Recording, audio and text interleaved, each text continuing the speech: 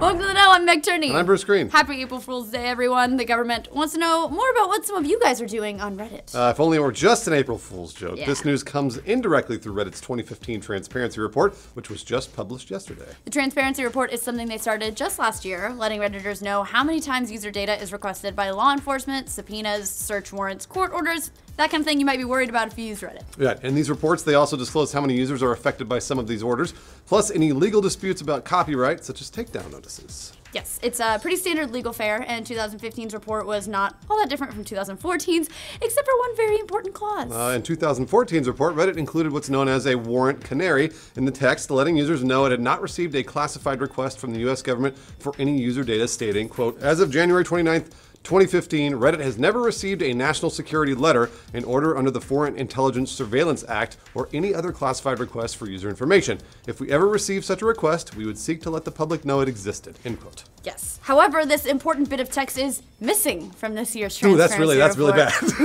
that's really bad. which uh, of course indicates that Reddit has in fact now received a classified order of some sort from the US government and it's not allowed to talk about it. Yeah, and in actuality, the removal of this warrant canary is literally Reddit's only legal way of disclosing that, which is the point of them having the text in last year's report in the first place. Sneaky Reddit. Yeah, good for them, good for Sneaky them. I appreciate that. So if you're wondering what the heck a warrant canary is and why you have never heard of it, that's because it's still shaky and kind of untested legal ground. Since nearly all national security letters come with a gag order, you're not allowed to say that you've received one when the government issues it. So since you're not allowed to talk about it, a warrant canary is one way to dodge it, confirming that you've received an NSL by omission. Uh, Apple did the same thing back in 2014 when it changed some of the language between its 2013 and 2014 transparency reports. Reddit users, who are eagle-eyed as always, except when it came to the whole Boston bombing thing, anyway, uh, they spotted the removal of the text almost immediately. So the announcement thread is full of understandably panicky responses about government surveillance and just how much user data was ordered by the U.S. government. Yeah, founder Steve Huffman, posting as Spez, even contributed to the thread saying, quote,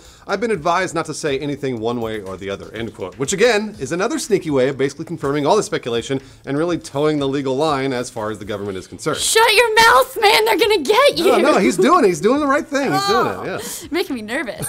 It's just never mind. If you think it's crazy that Reddit isn't even allowed to say whether or not it has a gag order placed on it, the laws used to be even more strict. Yeah. A few years ago, you weren't even allowed to tell your attorney What? you'd received a national security letter. Insane. Uh, that seems awfully convenient for the government. A lot of this commotion about NSLs started back with the Patriot Act in 2001, which significantly expanded their use and scope of power. Naturally, a statute that has that kind of power, plus prevents people from even talking about it or challenging it, is easily abused, which is exactly what the FBI did with them. Yeah, in multiple reports filed by the Department of Justice Inspector General since 2007, the FBI violated NSL rules more than 1,000 times between 2003 and 2006, and that was just an audit of 10% of its cases regarding NSLs.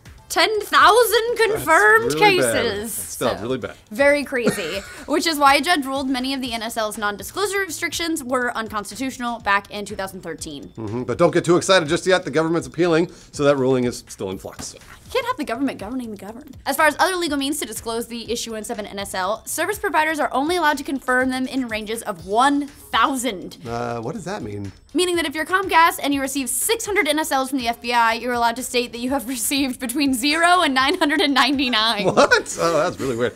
Uh, a number of companies are fighting for reform when it comes to government surveillance, however. Reddit, along with 85 other companies, have collectively denounced the government's tactics around privacy, demanding an end to NSA spying. So, what does this mean for you, Redditor, browsing creepypasta subreddits?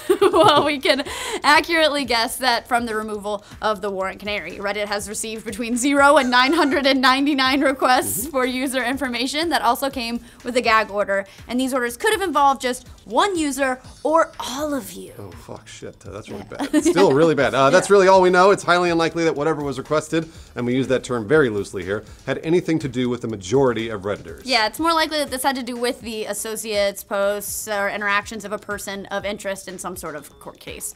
Or, you know, maybe uh, they're going after pesky video game news leakers. What? Like That's the like the no maybe? That ain't us. I gotta leave. Uh, but again, we have no way of knowing because Reddit legally can't talk about it besides what it's already done. Thankfully, they're already pushing against their legal limits when it comes to being transparent with users, which we appreciate. Yeah, we really do. Uh, as we said before, the warrant canary isn't even something that's been denoted as legal yet by the government. Uh, you're just not saying you got a national security letter. Well, we're just taking that out. We want to be truthful. And they're fighting being able to disclose more about these types of interactions with the government and to be able to share with more users. Yeah, Reddit also joined Twitter in filing an amicus brief last month asking for more transparency when it comes to disclosing NSLs. Keep fighting that good fight, Reddit. We appreciate that. That's right. So, what do you guys think of Reddit's transparency report? And is everyone in r slash no sleep totally fucked? Let us know in the comments down below. For more conspiracy theories out of Reddit and reports about how those pesky government organizations will try to spy on us next, like this video and subscribe to the Know. Please help us. He's gonna kill everyone. Welcome to the know. I'm Meg Turney. And I'm Bruce. Happy Fools. I'll say Bruce Greene, by the way. Happy Fools. Bye, fools. Are you calling them fools? Well, because I said he- hello, fools, or like did. happy fools. They're not fools. It's April Fools. Uh, I'm a fool.